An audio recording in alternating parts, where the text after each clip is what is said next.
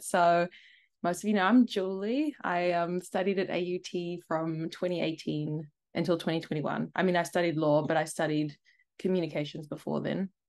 Um, so, in my background, I've been a litigation solicitor, I've been a lecturer in communication studies, and I've been an award winning journalist.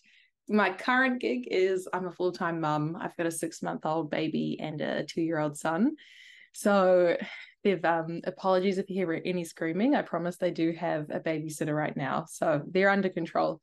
Um, so, as most of you probably know, I also run just a little study business on the side and I sell my, some of my notes from law school.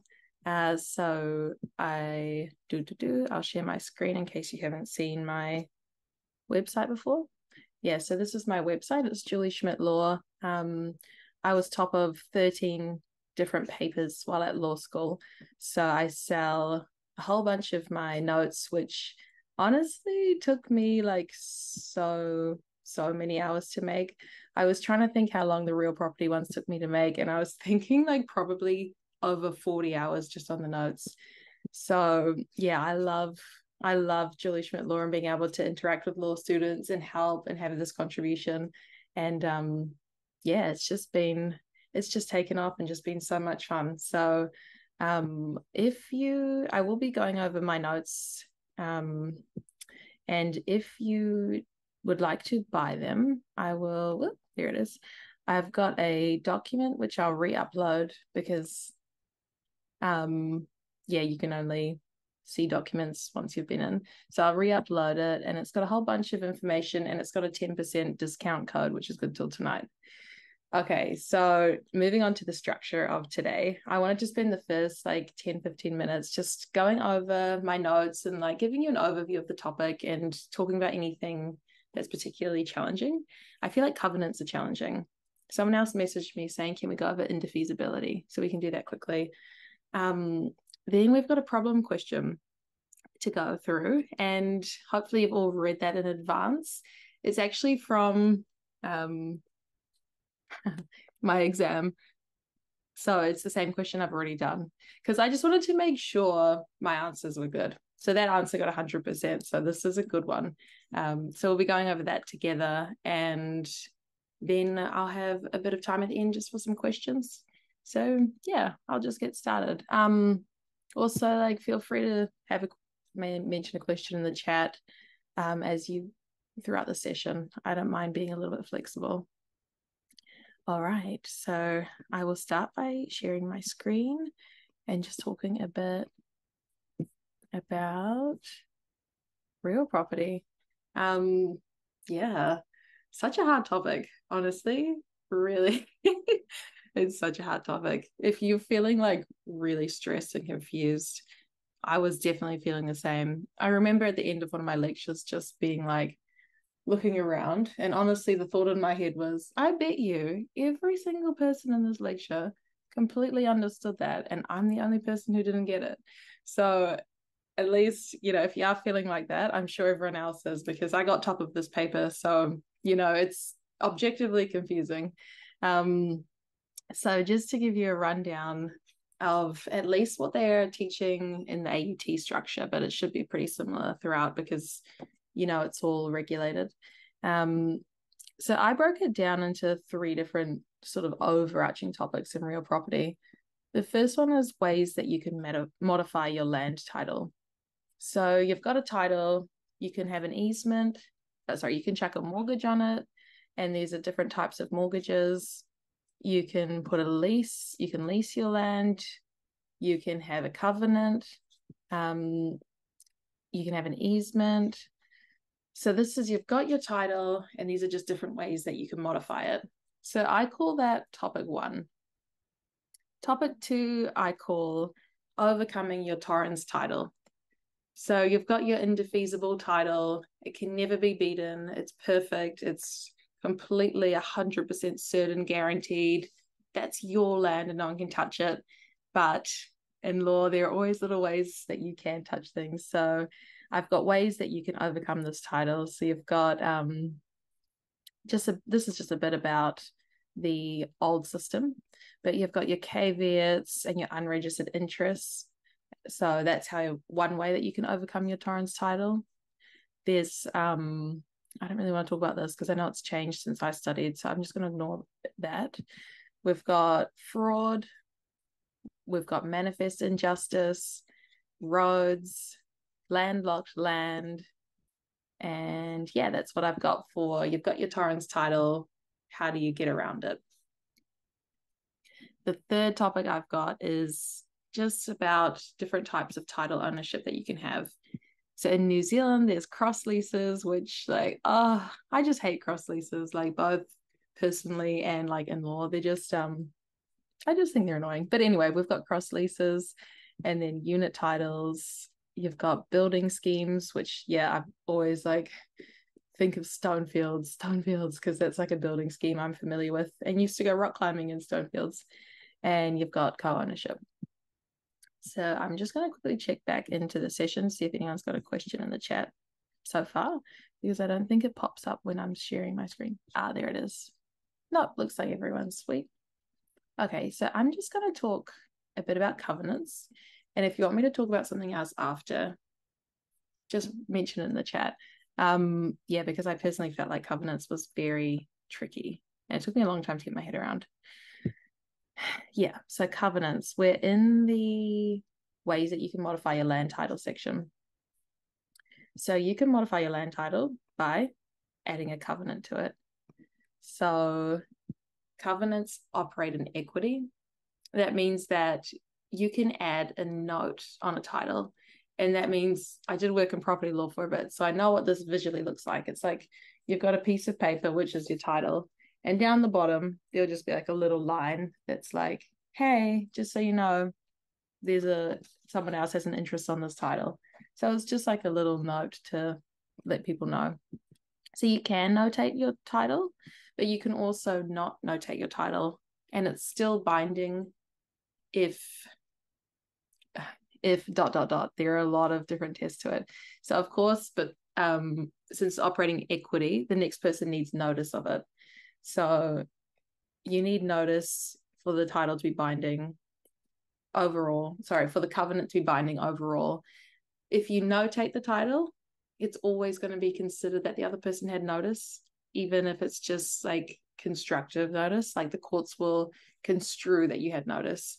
Um, but you know, notice would count of just being like, hey mate, just letting you know there's this equitable interest. There's a covenant on the title.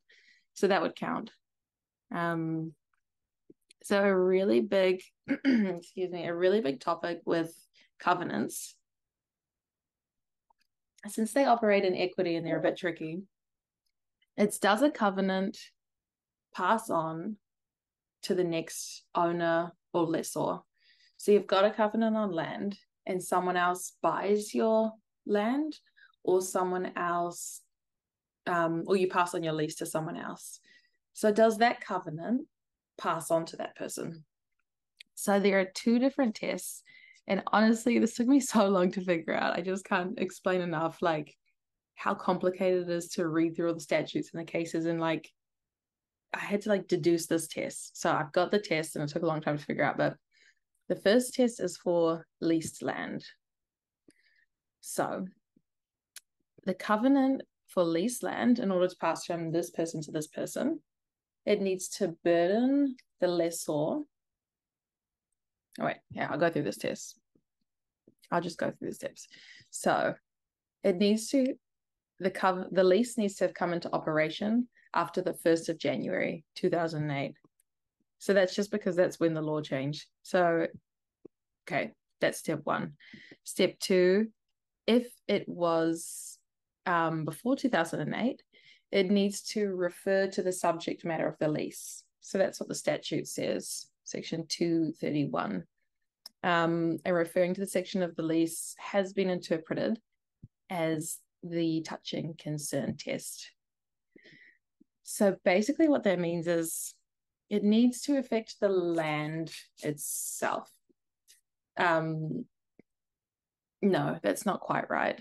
It needs to go to the heart of the lease. Um, and it should be about the land itself, not just the tenants. Because yeah, that would go to the heart of the lease.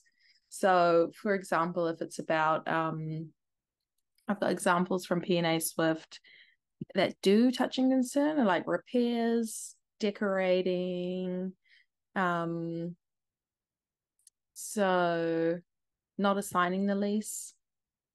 So that would all go to the heart of the lease. Um, some examples. Yeah, so in this case, P&A Swift, paying rent was a covenant that touched and concerned the lease because, like, it's not directly related to land, but you can't really, like, I think paying rent is like the most important thing about a lease, really, in some ways. So they found that Templeman, Lord Templeman said, uh, yeah, that does touch and concern the land. Um, so those are the two yeses. If it was after 2008 and if it touches and concerns, um, no. If it was before 2008 and doesn't touch and concern. Cool. So that's leased land, passing from this person to this person. Then you got your second test, which is um, I've got not leased land. So, like if you're buying land, does the covenant pass over? So, you've got to go to section 303 of the Property Law Act. Um, and the test is yes, if the covenant is intended to run with the land. If it's restrictive, then always, meaning stopping you from doing something. If it's positive, then only yes if it's come into operation after 1987, 1st of Jan. If there's no privity of estate, so there's no rental agreement, for example, between the these two people. And this is the really important part. If it burdens land, and this is where I'm talking about like land, land, land. Like think what you can physically touch, like the actual land and so it needs to burden this original land and benefit, like burden the land that the covenant's related to and benefit someone else's land. Okay, and also the other person needs to have notice. So, in relation to burdening land and benefiting land, which I think is like a really crucial part of this test, um, yeah, always like get your fingers like what can you touch? Like for example if there's a covenant on land which says every person who buys this piece of land must make dinner for julie every friday night uh it's not benefiting land like i am not land it's benefiting a person so that wouldn't count but if it was like your next door neighbor can't build a second story it's restricting the physical land and it's benefiting the land behind because the land behind has more value with a better view, arguably. All right. I'm going to stop talking about covenants and just check in with everyone and see um, if in the chat, would you like to, is there anything someone would des- be desperate to go over? um, because we've actually got into 417. So I might move to the problem question unless there's one more thing someone would like to cover quickly. Would like to cover quickly. I'm not telling you to go quickly to ask a question. Clarify.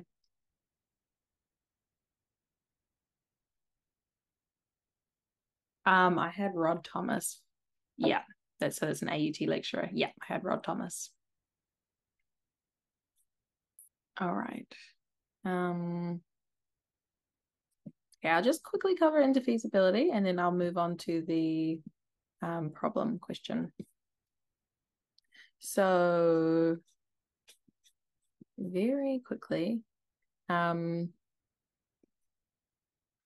yeah, indefeasibility came about because you know, in all like land is so fundamental to a society operating well because you need to have like how do I put this? You're all we're all working hard, right? And eventually you wanna you probably might already own a house or you want to buy a house and you want to know that that house will be secure.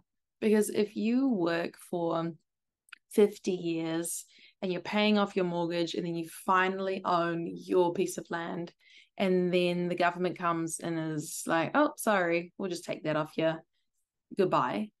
I mean first of all that person would be completely gutted.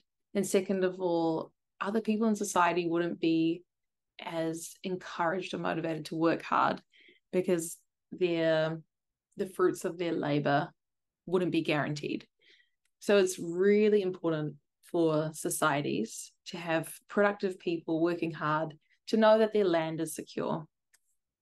So the system before Torrens, it was the um goodness.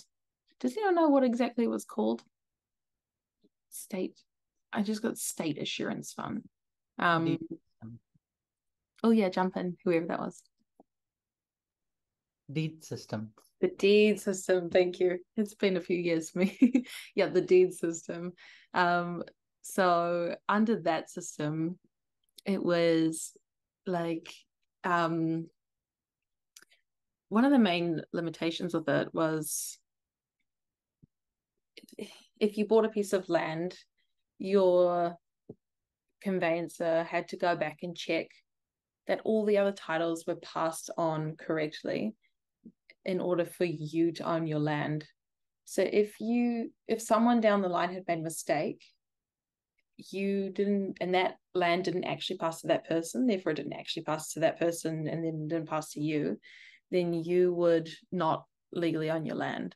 So it wasn't very secure. You had to really rely on having a good conveyancer, um, or even a good conveyancer back in the day. So they introduced this Torrens title um, to try and make it more secure.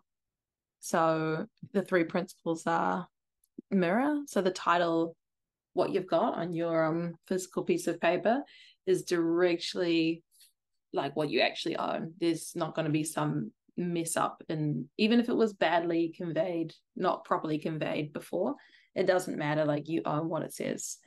Uh, the curtain principle. So yeah, that's like you shouldn't concern yourself with interest before.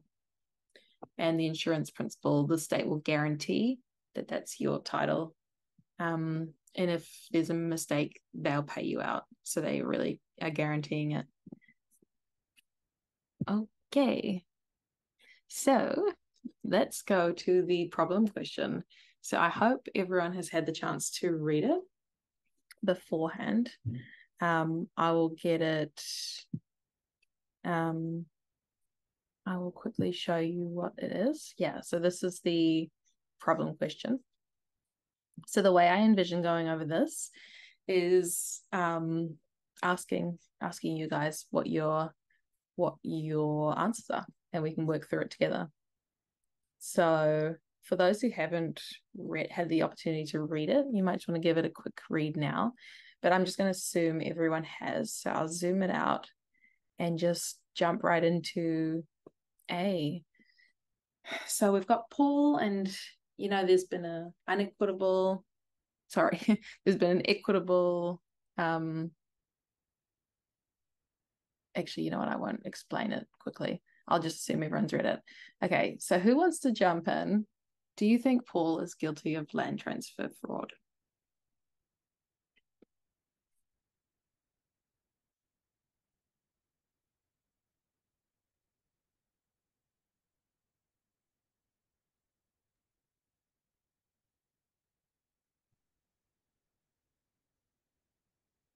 You No. Okay. Who said no? Oh, Rohan. Hi. Thank you for speaking up. Tell me more.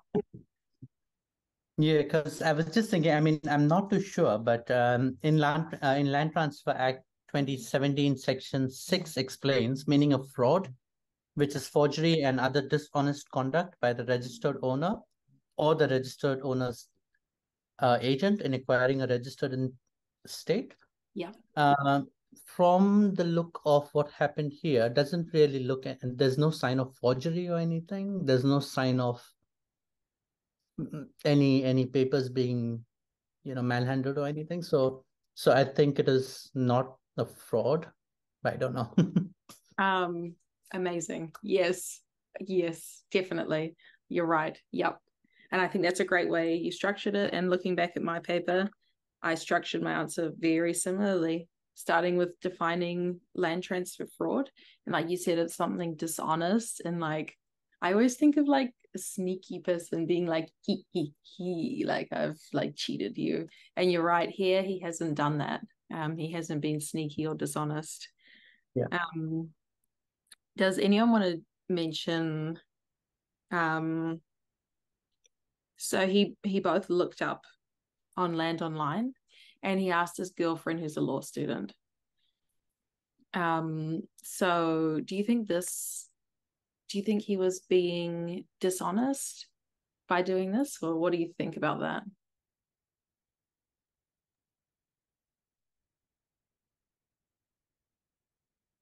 I don't think he was being dishonest. mm-hmm. In fact, he was being honest in trying to find out. Mm-hmm. Although he didn't consult a lawyer, which might be Mm-hmm. which might be looking the dishonest action, because that's what we do while we try to buy land or any Mm. anything. expensive. yeah So as his girlfriend, I don't think she was a law student, yes, but um, I think he should have done his due diligence before in a better way. Mm, okay. Yep. So maybe not fraud, but not perfectly innocent. And Yep. So that's when we've got. Does someone else want to jump in with a question two? Um, would your advice differ if he had sought a lawyer's advice and not Linda's advice?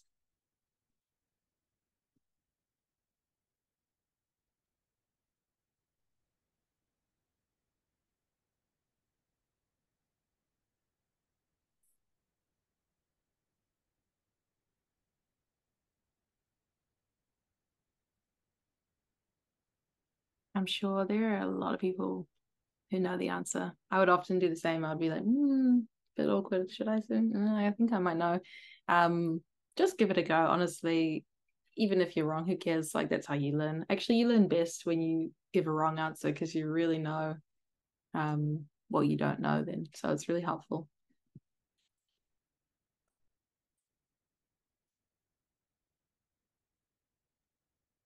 In that case, um, I do well all the time. Um, in terms of getting stuff wrong. I think uh, just from memory of a relevant case that it wouldn't make a difference um, in the sense of um, yeah that um, Mhm. uh, the solicitor's advice if the um, oh actually that's as far as I can take it. Yeah, no, that's right. Yes, it would make a difference. Does anyone know the case? Thanks, Ivan. It starts with a B, rhymes with something I won't say.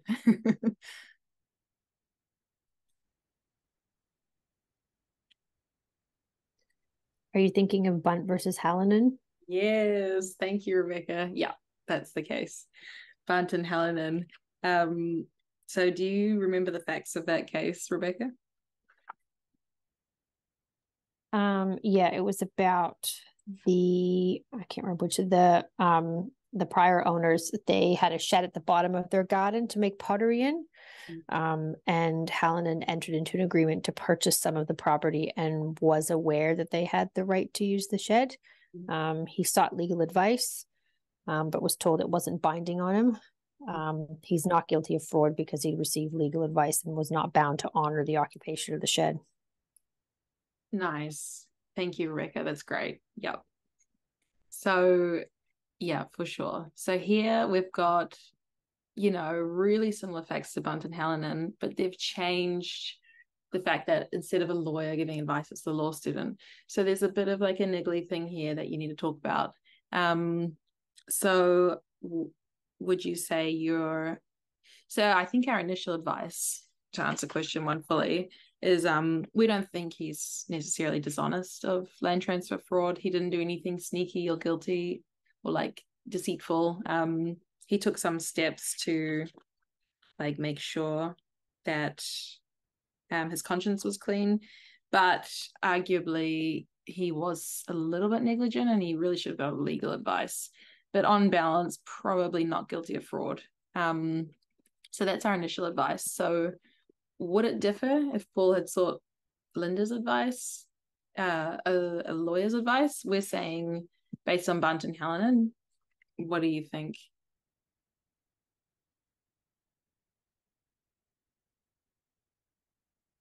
I think we're we're saying yes. Um, the advice would differ because it would be very clearly not fraud because it would be the facts would be almost exactly the same as Bunt and Hallinan, and he would have done nothing dishonest. He would have taken every possible precaution. So I better hurry this up. Actually, this is taking longer. Um, oh no, we've still got a bit of time. It's only four thirty. No, it's okay. So do you mean um do you mean that the situation would be the same?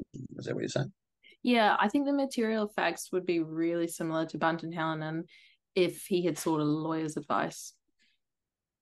So in both cases, he'd be not guilty. Is that what you're saying? In my opinion, yeah. So I would say, like, I always look at legal answers as a spectrum. Like, 100% yes is here and 100% no is here. My answer is always somewhere in the middle. I would say with number one, it's sort of like yeah, I'd say 75% likely he's not, you know, um, didn't isn't guilty of land transfer fraud. But I'd say with Quish, if he got a lawyer's advice, I'd say it's more like 95% likely that he's not guilty. Or maybe even I'd go as far as like 96%, you know. he can never be too certain, but it's it's pretty clear he wouldn't have done anything wrong. Um, whoops, this one was a bit funny. So, if Paul had become aware of Ollie's claim after entering into the agreement, but prior to registration, what arguments could be made that this may constitute land transfer fraud and why? So, there's a particular case that's um, needs to be mentioned here. Does anyone know the case?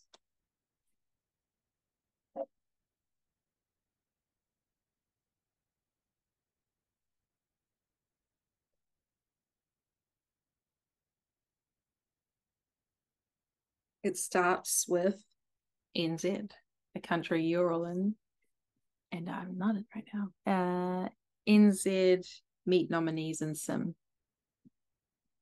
Um,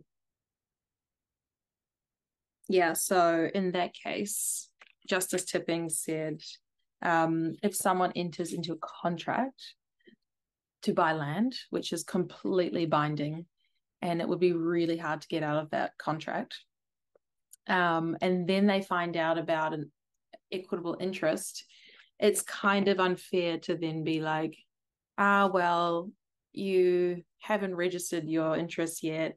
You found out about this equitable interest, therefore you're guilty of fraud because you had prior knowledge.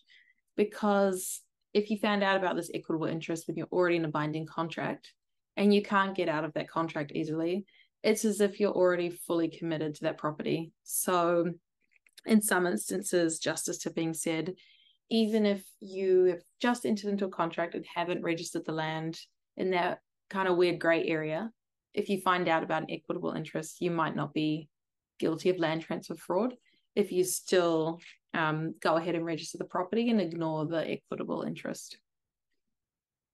So that's an argument I would advance if um, Paul became aware of the back shed after entering into the agreement, but before registering.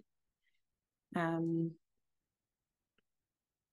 there's another argument that um, I mentioned, and, uh, and Rod Thomas wrote this paper in 1994, and he's talking about like the essence of fraud and really how it's just about someone being deceitful um, or dishonest. So, like, really, that sneak, like, I really tried to do something bad here. Um,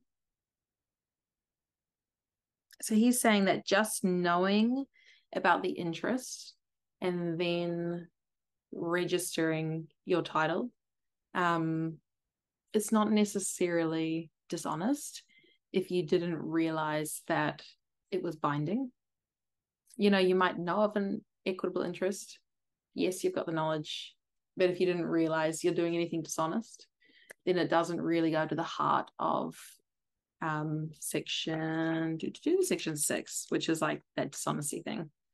Um, so that's an argument you could advance. It's Rod Thomas's argument, the lecturer for AUT. So probably worth advancing that if you have him as a lecturer because it's a good kudos to him. Um, yeah, any questions so far?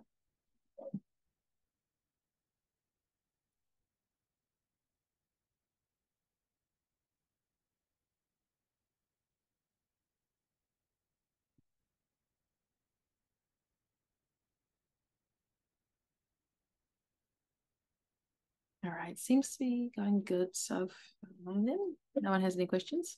Um, so would it have made any difference to your answer if Paul had become aware of Ollie's claim after being registered on the title? Does anyone have an idea about this?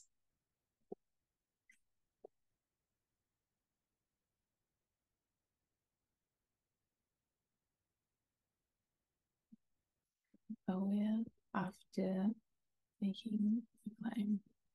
What, sorry, um, what what are they saying? What's been registered on the title? The actual interest? Do you mean? Or, um, or would it have made any difference? Or him or Paul somehow um, coming onto it.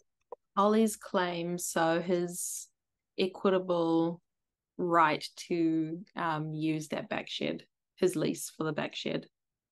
So would it have made any difference if he knew of like he didn't know of the shit at all. And then after he'd registered, someone goes and tells him about Ollie's lease.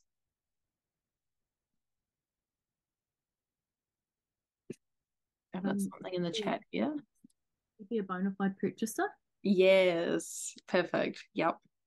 Thank you, Isla, and who just spoke, which I missed. Was it Ruby? Yeah, thank you for that. Yep. So he wouldn't be bound because he's the bona fide pitch of value without notice. Always a mouthful. Um, yeah. So that one's like a bit of a um. Do to do. I'll just see if I've got anything else. Um, yeah, in my answer, I just explain, just for completeness, that unregistered interests operate in equity, and then I quote assets and Mere Roihi, Mere Roihi, um, so to be bound, you need to have notice of it. So it's not constructive notice where the courts construe that you have notice, even if you actually didn't. It has to be like actual notice or willful blindness. Um, so do do do. Um, yeah. So unless you can prove he's willfully blind, if you didn't have actual notice, then he would be sweet. Um, okay, so I'll move on. You've been asked instead to give legal advice to Ollie, not Paul. Um, you form the view that in the circumstances there was no land transfer fraud by Paul. What advice would you give to Ollie on possible ways to overturn um, that registration and what could be the possible outcomes of that advice. So I'm just going to share my notes. I don't remember. Um, so it's fraud. Now, how, sorry, it's not fraud. So, how, how else could we overcome this Torrens indefeasible title?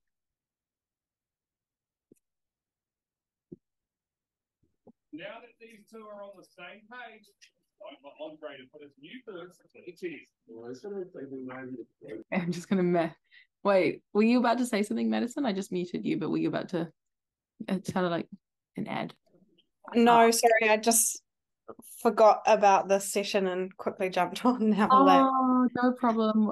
Welcome. Um, we're up to um answering a question in uh, answering question two of the problem question. Okay.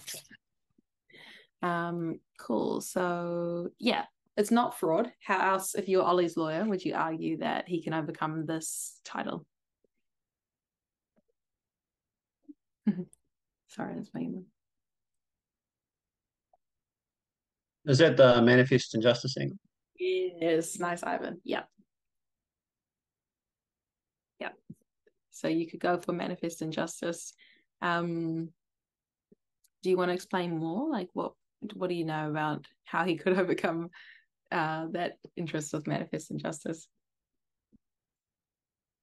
Um, I think it comes down to establishing that it's unconscionable uh, to allow it to stand, but I'm not too sure of the particular wording.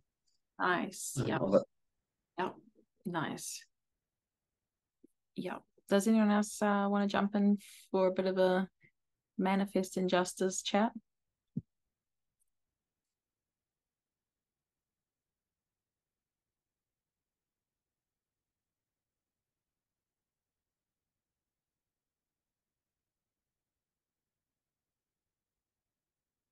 All right. Um, yeah, so Manifest Injustice, it's a new one. I think it comes, it was just introduced the Act in 2017. So when I was studying in 2019, there were no cases actually about manifest injustice. Um, so I'd be curious, do you guys know if there have been any come out post 2019?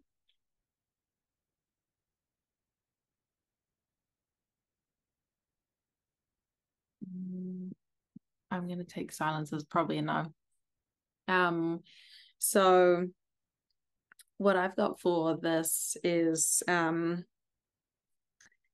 yeah, uh, relief. So in my answer, I've just got, um, it's recommended yeah, he could try overcome it with manifest unjust manner, um, if the title was manifestly unjust. Um, so relief under the section is only granted if um, damages money is not appropriate. Um, so that's from section 55, subsection 3 of the Land Transfer Act. Um, so section 55, subsection 4 guides the court on exercising its discretion. So it's like a discretionary one. So there's a bit of guidance. There's like different things stated as hey, you can look at these and use this to influence your decision. You don't have to if you're a judge, but you can. Um, but Rod Thomas in an article said it's possible that judges will just really look at this criteria, like look at this as criteria rather than just like broad overarching, you can think of these things. So um, the criteria are um, there are three main categories like statutory illegality, personal circumstances, and um, the type of interest you have in the land.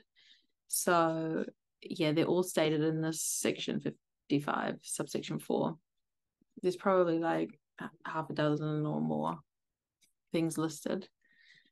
Um, so, does anyone want to have a go at which one might be relevant. Um, I could get the section up that's helpful. I'll see how quickly I can do it.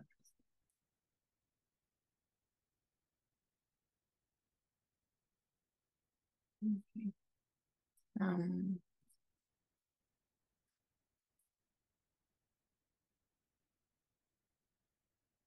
Yeah, so we've got section 55, subsection 4. Okay. Um, yeah, so here's a list of the things that the court can take into consideration. So it's like, um, you know, the personal circumstances, if there's anything special about the land, um, any, yeah, it's like I think um I remember my lecturer hating this one, and I can see why. It's because it's like very unclear. And you know, we're talking about land here and how important it is for land to be clear, like who owns and who doesn't, and how you can overcome it. And then you've got all these like, yeah, is it significant to the person? how was their conduct? So it's like very, you know, like airy fairy. um, so I'll just push ahead. So in my answer, I said, um, yeah, it's plausible. He could go for maybe six subsection like related to this one, if the length of time, because he had occupied that shed for 15 years. So it's a pretty decent time. Um, I've got I because he's like pottery is my life. He's built it years ago. His children played in it. Like he's emotionally invested in it. Um, I've got working against him E because it's a it's not a fee simple title. It's just an unregistered lease. So it's not like the best um title. So yeah, I've got that and I sum it up with um talking about you know, this is a new section. It's not clear. Ollie might have to go to court and test it and um, to know the answer because we don't know how the courts are going to react to this section. So, my final thing that I mention is perhaps it's better he brings an in personam claim, just like a standard in personam claim um, for breaching an essential term of the contract of the lease. Um, if there is some sort of agreement between the two, just like a standard claim and contract instead. That's probably a better bet. Um, how would you get around three? Um, an order under this section may only be made if the court is satisfied that in the circumstances the injustice could not probably be addressed by compensation. Yeah, so I mean that's when you really have to talk about like the what can money not buy, and it's like you know the emotional investment like his kids grew up in it or like if someone built it themselves or like you know a good one would a good one god that sounds bad but like if someone's ashes are buried like someone's relatives ashes i'm just thinking of other examples um or maybe there's like some sort of maori like historic connection to that land that's you know spiritual so these are some of the ways that you could get around um, like money could never compensate for some of those things. Um, all right, I will plug ahead because actually I am taking a while to answer these. I thought I was good for time, but time just flies when you get to talk so much. I just it, it flies for me. It's probably going slow for you. um, so I've got Ollie was overseas when he obtained the title. He was in India studying pot making. Um, he found out about it one month before he started trailing. So he found out about it seven months ago. Um, and seven months ago, he said that Paul cleared a shed of his things and had purchased the land. So, does his knowledge make a difference in regards to whether he can um, overcome the title with the cause of action manifest injustice.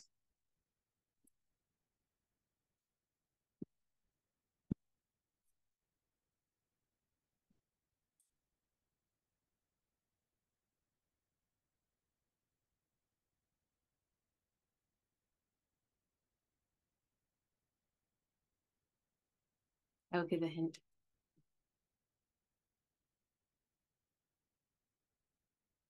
Yeah, this is like probably not worth dwelling on because it's just a technical one about the statute. But um yeah, you need to have um like uh so that this manifest injustice couldn't just go on forever um and like make all lands fully uncertain. They just say that six months after you know or ought reasonably to have known of this um like person taking away your interest you need to bring a claim. So Ollie's was seven months ago that he knew. All he knew was that the shed was being cleared of his things and that um yeah, Paul had bought the title. So I just wrote in my answer like, you know, um I explained that the section um what I just said and then it's like you know he probably should have known that Paul wasn't going to uphold his lease because he had bought the land and he had started moving his stuff out. So it's arguable he fits into this like became aware or ought reasonably to have become aware. Um, yeah, so that was my answer with that. And moving on quickly to um,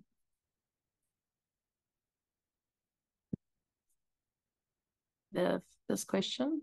So this one's all about leases. So you discover that Ollie has been in occupation of the shed for the past three years. Would his position be different if the duration or of Ollie's occupation was not for 15 years, but a period to be decided between them? So that's about what if there's an uncertain amount of time between them? The second question is, um, oh wait, I'll just deal with them one at a time and I'll go quickly. I'll say yes because for a lease you need um you need to have um all of these things like a fixed or periodic time. So you have to know when the lease is going to start and when it ends. So if it's like not clear when that is, then it is not a valid lease. Even it, it's not a valid unregistered equitable lease equitable and registered need the same things. So that wouldn't count. Um, question two is um, what about if his lease extended the area, um, but Ollie can't identify exactly where that area is? And I'm again going to say then it wouldn't be a valid lease because you need certainty of premises for there to be a valid lease. Um, the final one, the shed um, also has some of Virginia's lawn mowing and gardening implements. And I'm again going to say doesn't count because there's no exclusive possession. Um, so finally, we've got this access issue. So, like, let's say Ollie does have a lease over the shed and it is binding. Um, but it's like at the back of the garden. Um, so how does he walk on and off to his shed? So I've got um oh wait. I'll see what you guys think because we've I actually gone quickly. What do you think if um he can't get on to his lease? It's how would he legally maybe be able to overcome that?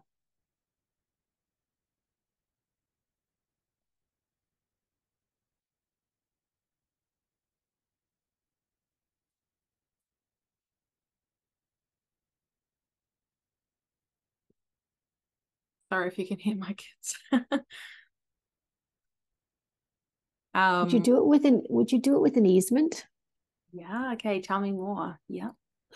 um, well, you can't do it as it's not landlocked land because it's a lease in essence. So you, um, all you could get an easement to cross Paul's land to be able to access the shed. Yes, it, you're right. I guess the question then is how would you get that easement? But yes, I think an easement would be ideal. Yeah, so yes. Do you have to have the consent of both parties as well for an easement? Like you both have to agree to it, do you not? Yeah. So um often, yep. So let's say Paul doesn't want to give that. I think that's a good like um a good thing to include. Yeah, and I think I missed that from my answer. Like try and get Paul's consent. Um, but if he doesn't, if he doesn't agree,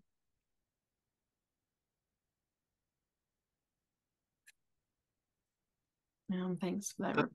Hmm?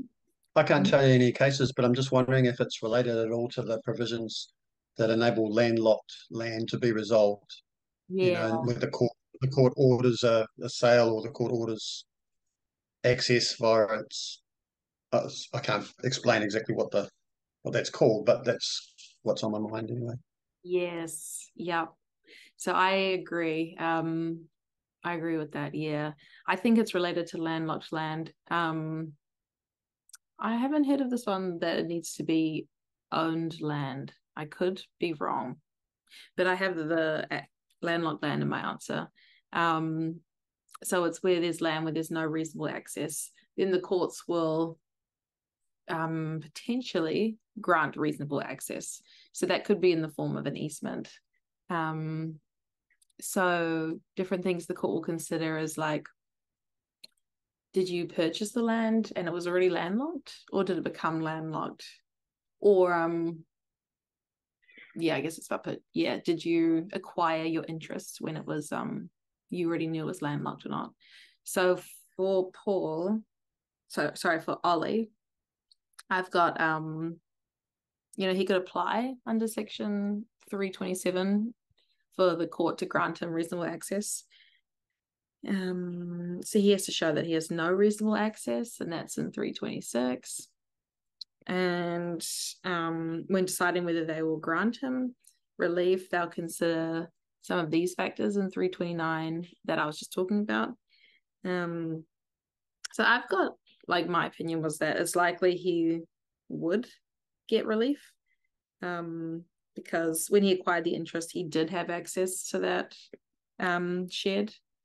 And um, you know, like this Kingfish Lodge case, um, they like bought landlocked land in um I think it's like Marlborough, something like that, Marlborough Sounds maybe. And they like knew it didn't have access to it except by boat. And then they applied to the courts to get access. So the courts are like, no, no, no, you got this land cheaper, knowing it didn't have access. You can't like sneakily come and try and get this. So the court said no here. Um, so I compared that in my answer to Ollie's situation where he didn't do that. He just genuinely had the interest before it became landlocked. Um, I also talk about like reasonable access might be like an easement by foot or maybe by vehicle, depends. Um, yeah, depends, but probably just an easement granting him, yeah, small vehicle or foot access. Whew, all right. That is um the end of that problem question. Whoa, um, your brains are probably fried now, but I've got a couple, not as long as I hoped, but a couple minutes now for does anyone have a burning question that they want me to cover before we finish?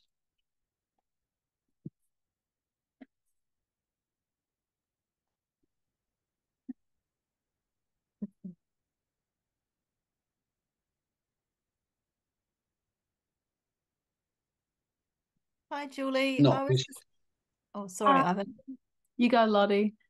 Um, I was just wondering, in these um land um or real property answers, um, is there room to discuss uh, a dissenting judge's opinion, or if you think that the area of law is a little bit grey, that it could go either way, or is it better just to uh, go with statute and apply it and use some case law that backs up that opinion?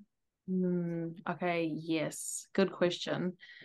Um, yeah, let me think.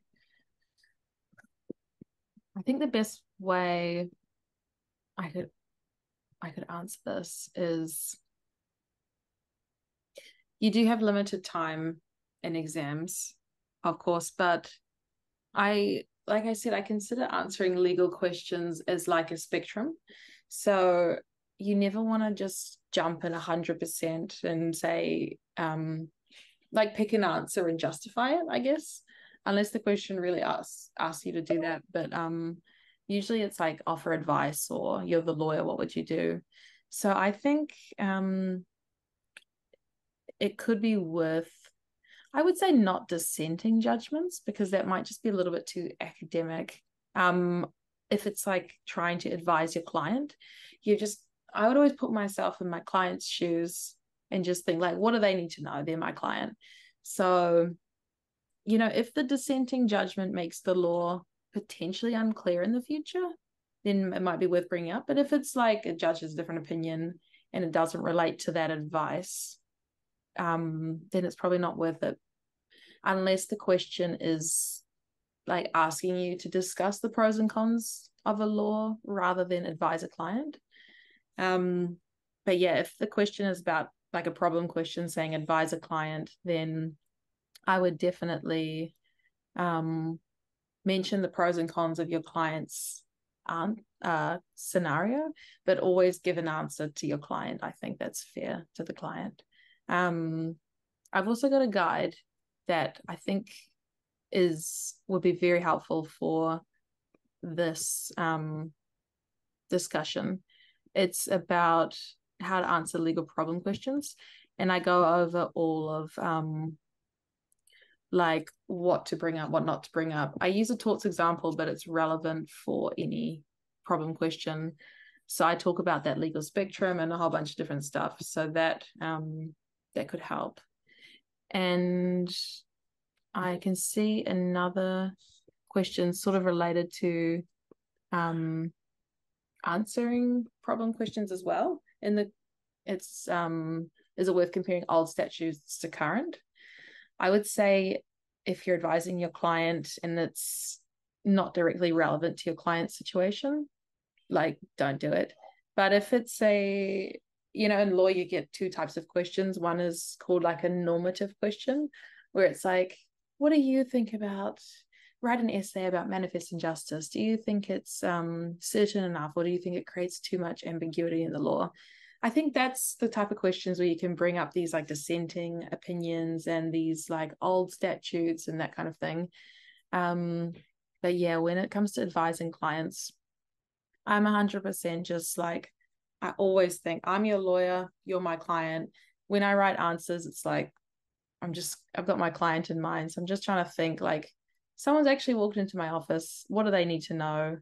They need to know like what the law is and whether they're going to win or lose and how much certainty um how certain I am that they're going to win or how certain I am that they're going to lose.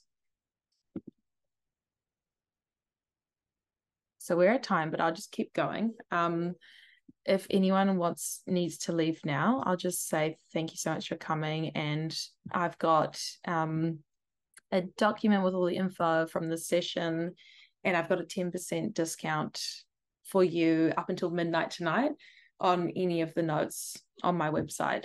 Um, so honestly, I wish I could have bought my notes when I was a student. I think they are really super objectively helpful.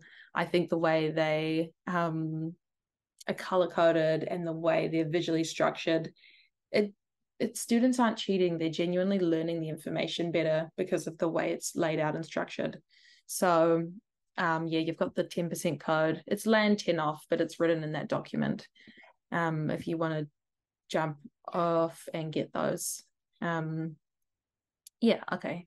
So I will answer Joanne's question. Ah, thank you, Lottie.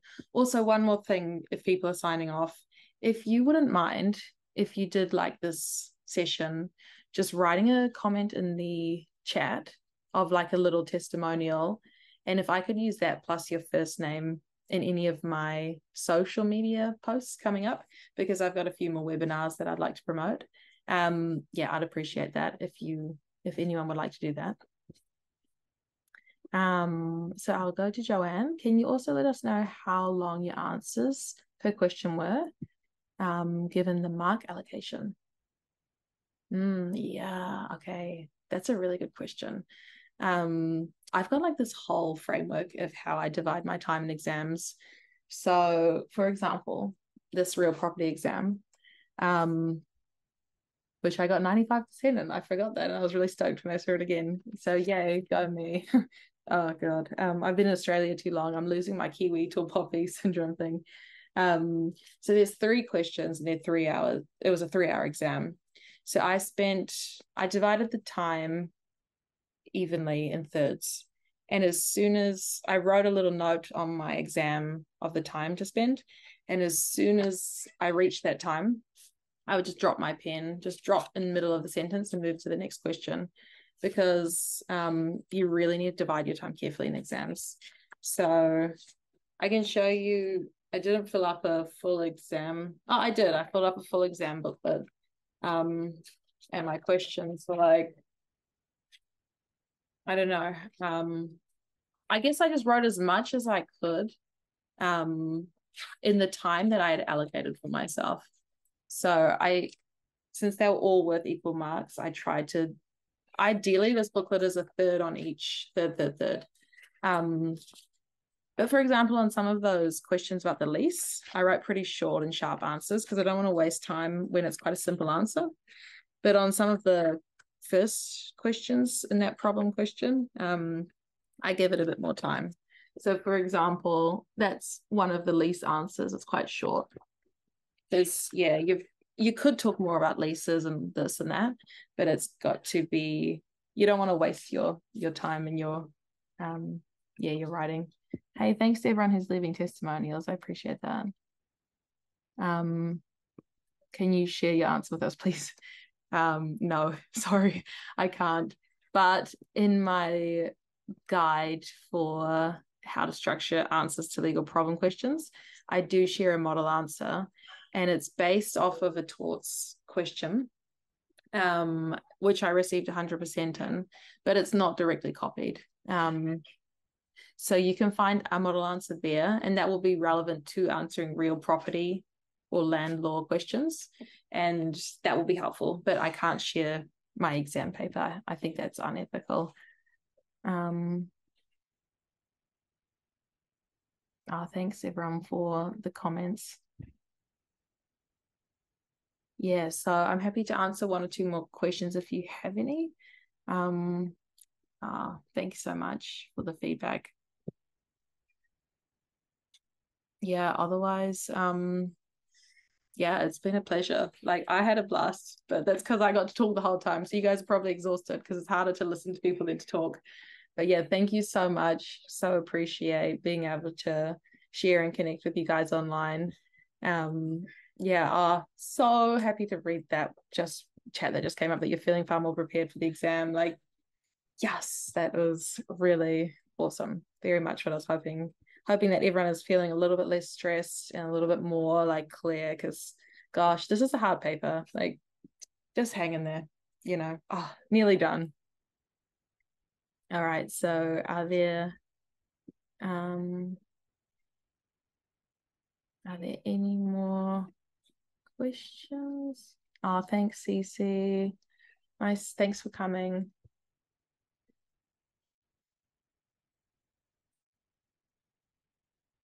I noted um, the video being recorded. Is it going to be uploaded somewhere for reference? Or? Yeah. I don't know yet, to be honest. I probably, yeah, thanks for bringing that up. I am recording it because I want to use it for something, but I haven't decided um like where it'll go. And I have to think of privacy and stuff. So yeah. What do you think, Ivan? What do you think? Would you like a copy of it after or I mean, it might be nice to share with some other people who couldn't make it. Um, um, from a personal perspective, I'd use it for personal reference in terms of the connection between what you're saying and what's shown on the screen. Mm. Um, I'm not I'm not sure of it going wider outside of the pool of people that are watching the video. To be quite honest. Okay. Yep, that's fair. All right. I'll um I'll keep that in mind. And I think since I didn't ask everyone's permission, I won't share it um publicly. But yeah, it might be nice to make the recording available to the people who weren't able to make it. I think I had about 90 people signed up, so we got about half. So it'd be good to share with them. Um, and yeah, maybe a couple other students somehow, but not in a majorly public way. Um, if I could suggest, if in terms of the other uh, webinars later this week, if you wanted to perhaps do that, maybe canvas that, and I, I would say people would take the opportunity to flick their cameras off. Yeah, you know? yeah, yeah, fair, yeah. Thanks for that. I'll uh, be back in mind. Yep. Yep. Fair. All right. Um, I want to um just quickly um yeah, take a um, copy some of these um, testimonials because I don't want to end the session and then lose everything. So I'm just going to take screenshots of all these. Um, yeah, but so nice to see you all. And yep, that's the screenshot of just the um testimonials. It's nice to see you all, and thank you so much for showing up. I'm sure you guys will all do well because you're all going above and beyond, getting extra. on. One can only hope. Yeah. Oh, yeah. You'll do great, Rohan. You had great answer at the start. That was really good. Yeah. Oh, oh, this is such a hard paper. Yeah, but yeah, it's just a a lot of things, a lot of content. So it's just yeah, it's a bit hard, but I think it's it's quite interesting as well, to be Yeah. fair. So Yeah. Very interesting, and honestly, quite a lucrative area to work in. Yeah. Yeah. Yeah. Yeah. Cool. I might go back to property one day. All right. I'm I think I've got my screenshots of all the um chats. So I'll end it there. Um yeah. All right. Thank you again all so much for coming. And Thanks, yeah, hope to see you later in the week if you, uh, you're coming to any more. Otherwise, yeah, just hope to keep in touch.